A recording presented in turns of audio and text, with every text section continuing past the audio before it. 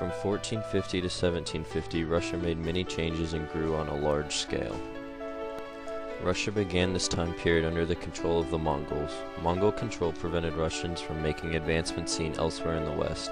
After breaking free from Mongol control, Russia began a period of territorial expansion, westernization, and government reform.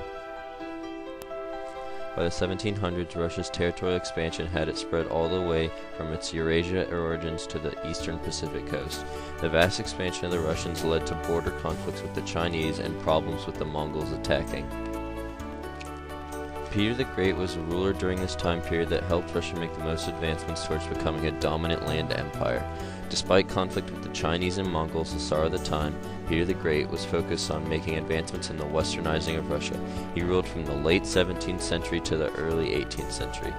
Peter the Great sought out help in Europe to strengthen the rapidly growing Russia. Prior to Peter the Great, Russia had almost no contact with Europe. Because Russia had little access to warm water ports, they were unable to participate in the Maritime Revolution. Peter hoped to strengthen his country by westernizing it. To change Russia, Peter attempted to revolutionize Russia based off of ideas he learned or saw in Europe. He wanted to reform the military, build up the infrastructure, expand Russia's territory, reorganize the bureaucracy, and relocate the capital of Russia. With regards to military reform, Peter the Great created ways to offer better pay and draft peasants to become soldiers. He was also able to create a navy by importing Westerners to build ships in shipyards and teach nautical tactics. Also, Russia was considered a gunpowder empire, therefore they were able to develop better weapons. Peter the Great realized his new reformed military couldn't function without an improved infrastructure. Therefore, he organized a peasant workforce to work on roads and other services for the government to improve communication in the empire.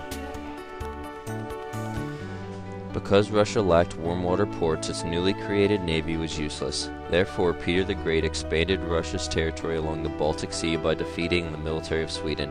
He later attempted to capture the Black Sea, was, but was defeated by the Ottomans. With all the improvements he was making, Peter the Great had to find a way to tax his people to pay for the improvements.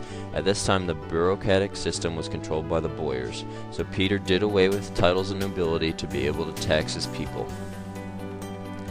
One of the last important changes made by Peter the Great was the relocation of Russia's capital. He moved the capital from Moscow to St. Petersburg, where a city was built from scratch. Also, there was a harbor by the new city that would serve as a perfect home port for the newly established Russian Navy. In the new city of St. Petersburg, Peter incorporated architecture styles he learned in Europe.